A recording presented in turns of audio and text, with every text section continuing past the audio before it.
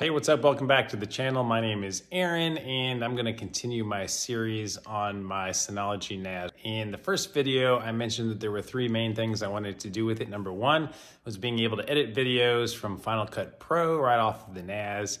Check that one off. I got a video out for that one already. Second thing is I wanted to run a Plex server.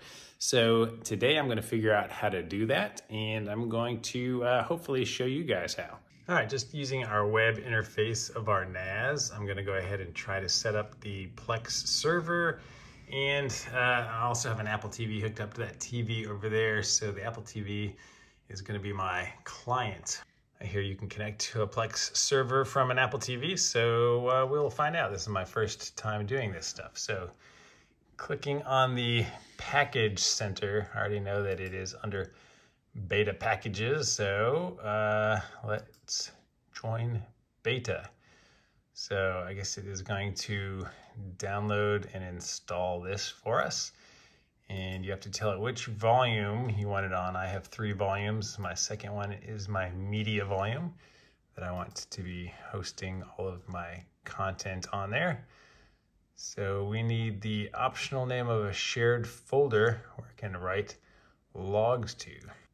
So I guess before I do this, I probably need to go create a shared folder on this volume. So I'm just gonna exit out of this install for right now, go over to my control panel, shared folder, and I'm gonna create a shared folder on volume two, and we're gonna call it media. All right, and uh, just next, next, next, next, and apply. All right, so now we have a media folder that is shared under volume two. So let me get out of the control panel and let's do this again. It says it's optional, so let's just go ahead and leave it blank, see what happens. So it's going to install this in volume 2, and yes, we want it to run after installation. All right, so let's see, this tells us about permissions in the control panel. So we're gonna wanna put our media in the media directory that we created, and we're going to, uh, let's see, go into those and edit the permissions on it. So we have to change the drop down from local user to system internal user. Repeat these steps for each share you want the media server to be able to access. All right, so I guess it is installed. We can just click open. Well, on the NAS, it scans your media, and then you can play it back on your favorite Plex app. Got it. All right, so I don't want to subscribe to Plex Pass. I just want to use the free version of it. Found a server. Sure, we'll access it outside of our house. Now we can add a media library.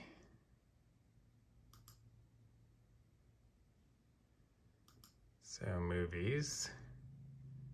We'll name it movies, sure.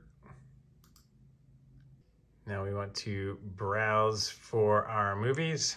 So now if we go to our Finder and we go to the NAS, we now have a media folder here.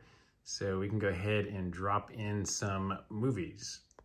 So in the media directory, I just created a folder called movies here and threw a movie in there.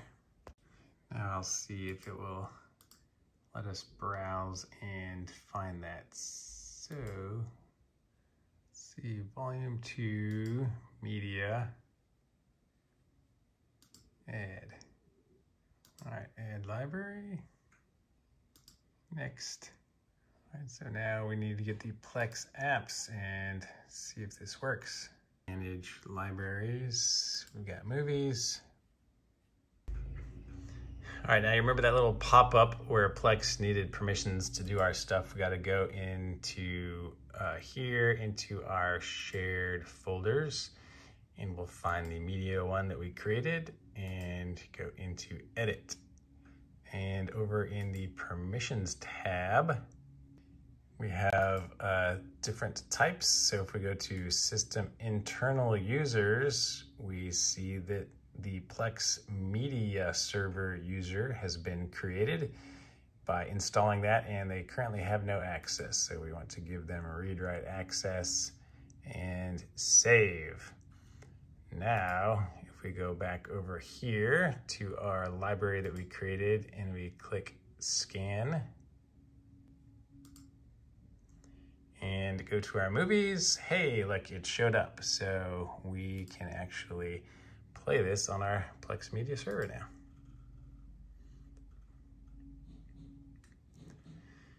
All right, so we can see this plays locally on our Plex Media server, which is good.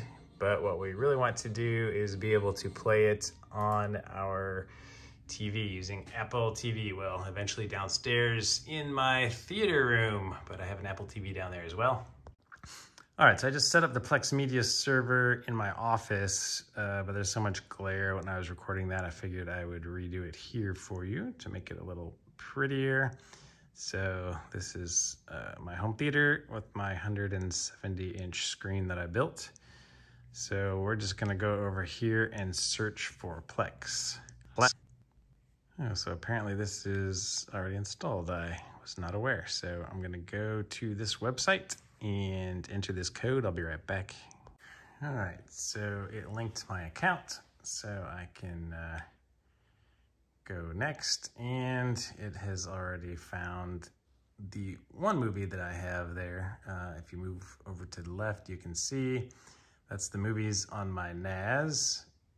Uh, it also has live TV with all kinds of these channels.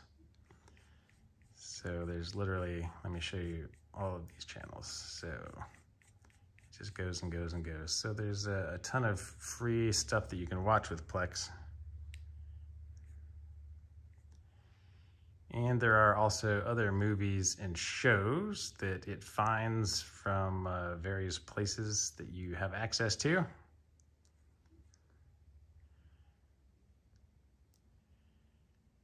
It's got web shows, podcasts, music on Tidal. So I haven't uh, tried any of this stuff. I don't know if you have to have a Tidal account to play these probably, I assume. It just says preview.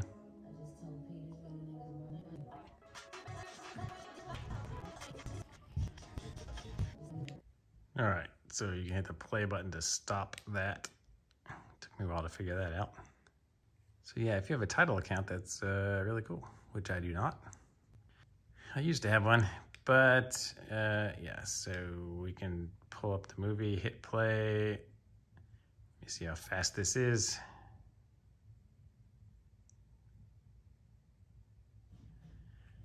All right, so that wasn't bad at all. So now we can watch the movie right here in the theater. All right, so uh, hopefully this was helpful, guys. If it was, please give the video a thumbs up, subscribe to the channel, and stick around for more NAS content that'll be coming up in future videos.